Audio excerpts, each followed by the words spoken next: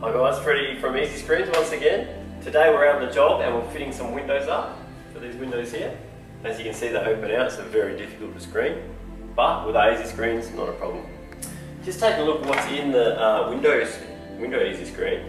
Uh, it's a little bit different to the door, as in the handle has this track here for the handle and there's no magnetic strip it attaches to, it simply locks down the bottom. So I'll show you the parts involved. So of course you have your cassette with the handle. There's a handle you have to slip on yourself. So the handle goes up like this and simply slides in the track.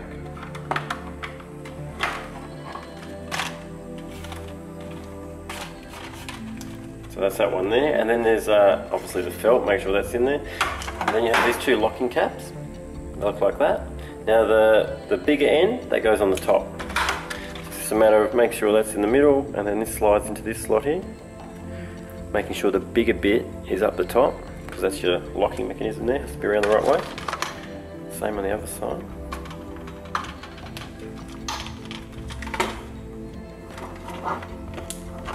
So that's all locked in.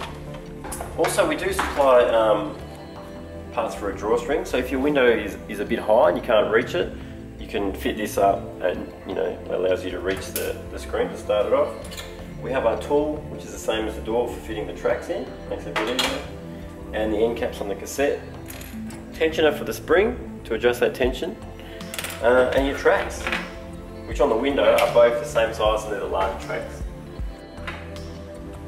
So this kit is, is one that the customer ordered where we did the cutting for them, so it's pre-cut. So it's just a matter of you getting it like this and it will fit straight into your window. Uh, so we're doing an installation video today for you for that. Uh, if you want to cut yourself, be sure to check out our other video on the cutting as well. So we're just going to fasten the cassette to the window frame, just a fastener on each side.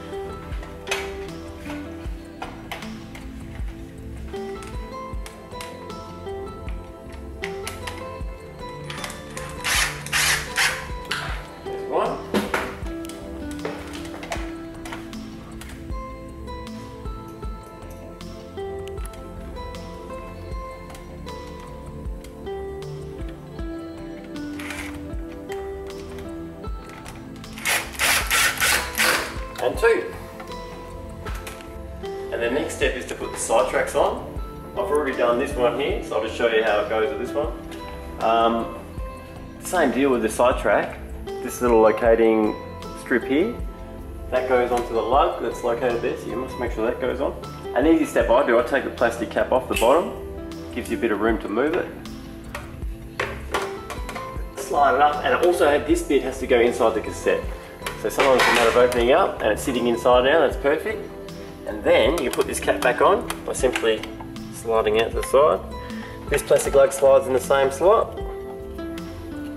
Actually, and another step I'll just mention quickly, the little clip on there, that, that's what hooks the handle shut. So this bit here, that must be facing the front, enable for your window to, um, to close and lock down. So that's all good. Push that all the way up and then voila. Also another important note is uh, make sure this track is parallel with your frame. So you want a nice even gap down there. One, it'll look good and two, it'll work properly. So we'll now go and secure this on. Just be using the fasteners that are supplied. And usually two or three, or maybe four, depending on the size of your window.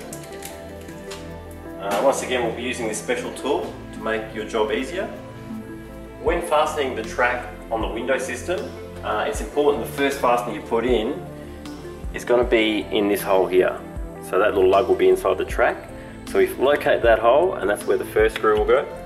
So let's have a quick look. Yeah, that's spot on in the middle there. Put it into the special tool.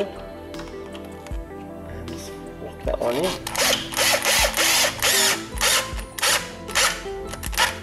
Beautiful continue on and put a couple more fasteners in this trap, hold it nice and secure. Okay, now the other side. So it's just a matter of finding that hole. And there you have it, a finished job.